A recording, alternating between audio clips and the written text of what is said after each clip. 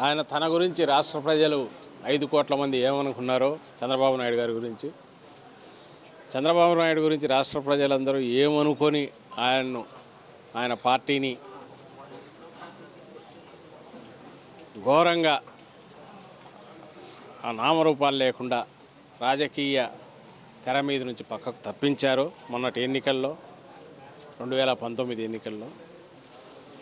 ఆ పదాన్ని ఆ మాటను జగన్మోహన్ రెడ్డి గారికి ఆయన అట్రిబ్యూట్ చేస్తూ జగన్మోహన్ రెడ్డి గారిని ఆ మాట అంటూ నరకాసుడు పాలన అంటూ అనడం అంటే ఆయన ఉన్మాదమో లేదా ఆయన ఆలోచన ధోరణి ఏ స్థాయిలో ఉంది అనేది అర్థమవుతుంది. అలాంటి పాలన ఇచ్చాడు కాబట్టి ఒక దిక్కు మొక్కు లేని పాలన. అసలు పాలన అనేది లేని పరిస్థితి క్రియేట్ చేశారు కాబట్టి. క్యాబినెట్ మీటింగ్లు అంటే పందేరాలు చేయడము కాంట్రాక్టర్లకు కమిషన్లు ఇవ్వడము లేదంటే కాంట్రాక్టర్లకు చట్టం నుంచి తప్పించుకోవడానికి న్యాయస్థానాలను తప్పించుకోవడానికి క్యాబినెట్ అప్రూవల్ ఇప్పించడం ఇలాంటి దానికే సమావేశాలు జరిపారు. పోతూ పోతూ మూడు లక్షల అరవై వేల కోట్ల పైచీలకు అప్పు నెత్తిన పడేసి తొంభై వేల కట్టుంచి పడేసి వెళ్ళారు. రాష్ట్రాన్ని దివాలా తీయించారు అప్పులు పుట్టలేని పరిస్థితి క్రియేట్ చేశారు. జన్మభూమి కమిటీ ఇది లేని రేషన్ కార్డు కాదు. చిన్న ఇది కూడా ఇవ్వలేదు. ఇవన్నీ చూశారు కాబట్టి ఫిఫ్టీ పర్సెంట్ యాభై శాతం పైగా ఏదైతే డెమోక్రసీలో కొలబద్దను అంతకంటే ఇంకా వేరే ఉండదు. యాభై శాతం పైగా ప్రజలు ఓటర్లు జగన్మోహన్ రెడ్డి గారిని ఆశీస్సి ఇచ్చారంటే ఈయన పాలనతో ఎంత విసిగి వేశారో అక్కడే అర్థమవుతుంది.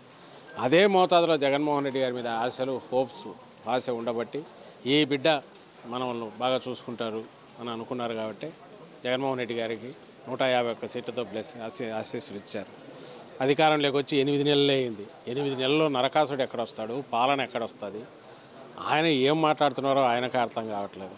అందువల్లే ఏవైతే వినూత్నమైన పథకాలు పెట్టి ప్రజల మనసులు చూరగొంటున్నారో జగన్మోహన్ రెడ్డి గారు ఏవైతే ప్రజల జీవ సమగ్రంగా వాళ్ళ కుటుంబాలను పైకి తీసుకొచ్చి వాళ్ళ జీవితాలను బాగుపరిచేసే లింక్ ఉన్న పథకాలన్నీ పెట్టి పాలనను డీసెంట్రలైజ్ చేసి కింది వరకు ఎఫెక్టివ్గా సమర్థంగా అందిస్తున్నారు.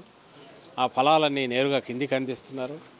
ఇవన్నీ చూసి తట్టుకోలేక ఆవేశంలో ఏమనాలో విమర్శలు తెలియక ఒక ఒక రకమైన దాడి మాటలతో దాడి చేయడం లాంటి స్థాయికి పోయినారు కాబట్టి బూతులు లాంటివో లేదంటే సీరియస్ పరుష పదజాలం వాడడం.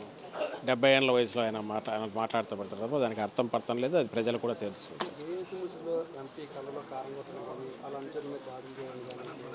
అది చాలా ఘోరం. ఇది రెండవసారి.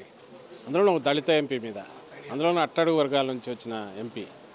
అలాంటి వ్యక్తి మీద మీరు మీరు నిరసన తెలుపుతున్నారు తెలపాలంటే తెలుపుకోండి. ఆ నిరసన కూడా ప్రజల నుంచి వచ్చింది కాదు అని మేము గట్టిగా ఎందుకంటున్నామంటే అక్కడ భూములు ఇచ్చిన ఇరవై ఎనిమిది వేల మంది రైతుల్లో పద్నాలుగు వేల మంది రై- వాళ్ళు వ్యక్తులు రైతులు కాదు ఇన్వెస్టర్లు. బయట నుంచి మాలాంటి వాళ్ళు మీలాంటి వాళ్ళు ఎవరైనా డబ్బులు ఉండేవాళ్ళు రేట్లు పెరగవచ్చని పెట్టినవాళ్ళు. రియల్గా రైతులు ఇచ్చినవి పద్నాలుగు వేల మంది. వాళ్ళకు సంబంధించి ఐదేళ్ళ పాటు వార్షికంగా ఇవ్వడం పెంచడం ద్వారా కూలీలకు రెండు వేల ఐదు వందలను ఐదు వేలు చేయడం ద్వారా జగన్మోహన్ రెడ్డి గారు పూర్తిగా నేను మీ మనిషిని మీరు ఎక్కడ డీలా పడాల్సిన అవసరం లేదని భరోసా ఇచ్చారు. అయినా కూడా ఎక్కడో బయట నుంచి జనాన్ని తీసుకురావడం అది మహిళలను అన్యాయంగా పాపం వాళ్ళు ఎప్పుడు రోడ్ల మీద కూర్చొని వాళ్ళు వాళ్ళని కూర్చోబెట్టి మగాళ్ళు రాకుండా చేయడం ఒక తప్పు అయితే దీని ప్రభావం ఎక్కడా లేదనే ఒక నిస్పృహతో ఏదో ఒక రకంగా రెచ్చగొట్టాలా? నాలుగు క్లోజప్ ఫోటోలు షార్ట్స్ తీసుకోవడం ప్రజా ఉద్యమం అని చూపాలనే ప్రయత్నంలో భాగంగా వాళ్ళని మా వాళ్ళు చూసి అంటున్నారు. అంతా పెద్ద ఎత్తుగా ఉన్నారు. వాళ్ళు మామూలు పల్లెల్లో అక్కడ ఉండే మహిళల్లాగా కూడా కనపడట్లేదు. బయట నుంచి అదే పనిగా తెచ్చినట్టున్నారని కళ్ళల్లో కారం చల్లడం లాంటి ఇవి చేయడం ఇక అంతకంటే దారుణం ఏమీ ఉండదు. ఇవన్నీ కూడా ఆయన నిస్పృహకు ఇవన్నీ కూడా ఆయన దివాళా కోరుతనానికి ఆయన పార్టీ దివాళా కోరుతనానికి నిదర్శనంగా నిలబడతాయి. ప్రజలు అది అర్థం చేసుకున్నారు కాబట్టి ఎవ్వరూ దానికి ఎక్కడ రెస్పాండ్ కావట్లే. సమీప భవిష్యత్తులో రెండు మూడు నెలల్లో ఇవన్నీ సెటిల్ అవుతాయి. రాజధాని మూడు ప్రాంతాల్లో ఉంటుంది.